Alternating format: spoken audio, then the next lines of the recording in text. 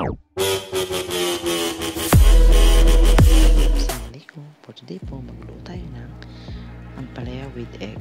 Ang mga ingredients po ay onion, tomato, chili flakes, optional,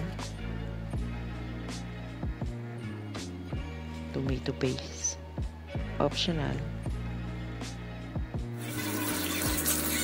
Gasan po natin maigi.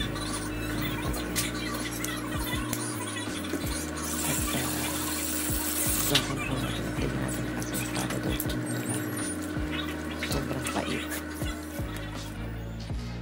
And then, maganda po tayo may isang kawali. Lagyan po natin ng mantika. Yun po yung onion. Yung ginamit ko palang onion sa pagluluto ko today, yung ano, yung ready-made onion ko na. Pero optional po kung ano po yung gusto nyo gamitin. Ayan po. And then, gisa lang po natin. And then, isunod na po natin yung tomato. Napakadali po nitong ulam na to. Pasensya na po sa mantika ako napadami after ko naman pong niluto ay tinanggal ko. Ang sobrang mantika. Ang sobra ay hindi maganda sa katawan. Ayan po gisa-gisa lang.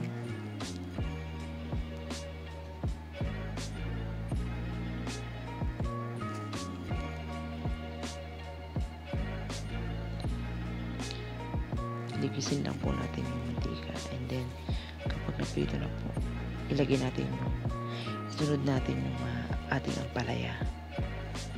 Yung turo sa akin ng nanay ko, kapag nagisa ko na, tapos nailagay ko na yung ampalaya, huwag ko nang haluin. And then, ito po, lagyan natin siya ng paminta.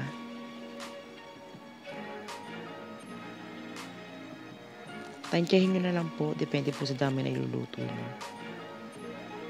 Ang sabi ko nga po, ito po ay aking uh, style sa pagluluto. Ako po ay hindi professional.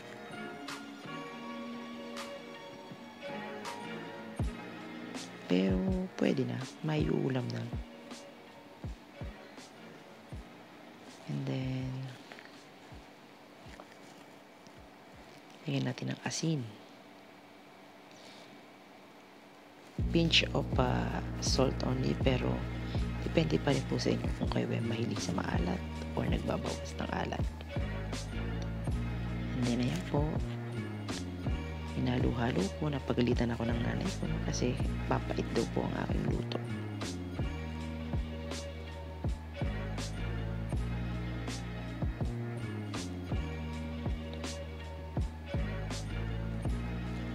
Pinakulo ko lang po ng konti sa mantika para medyo luto-luto na po yung ating uh, ampalaya.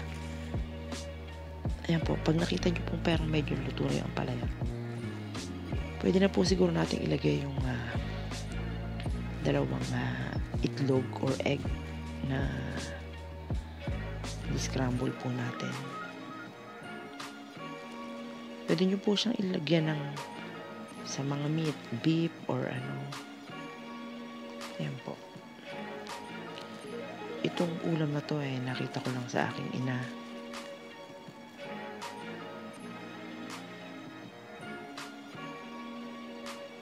Ang daming matika.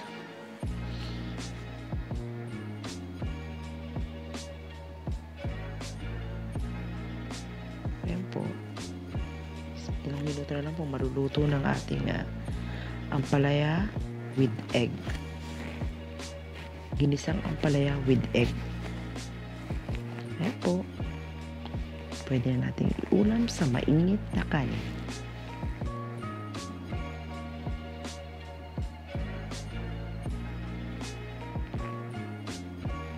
tsak magugustuhan ng ating pamilya. Kung di ka pa nakakasubscribe sa channel ko, please subscribe and like Michelle PD. Thank you.